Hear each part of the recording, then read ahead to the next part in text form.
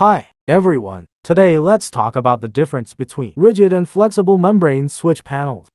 The rigid membrane switch panel is not easy to bend. Here is an example. Acrylic panel, which is the main product of JRPanel. Acrylic panel is made of acrylic sheet with high transparency. The raw material allows light to penetrate and enhance the visual effect of displayed items. It is durable, but the surface is prone to scratches.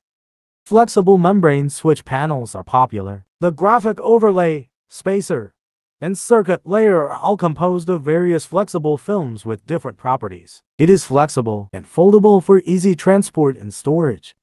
In addition, the flexible membrane switch panel can be designed in various colors and texture, making it customized.